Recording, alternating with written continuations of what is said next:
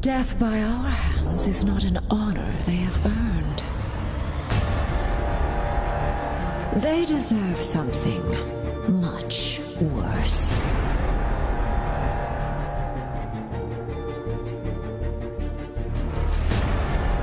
Even with this stone at my command, this may not be a battle we can win. Whatever's happening, we can beat it. Keep fighting.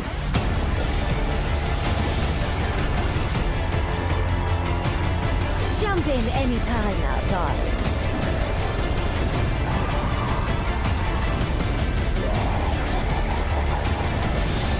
They will pay for what they've done. In blood. All hope is fleeting in the face of that.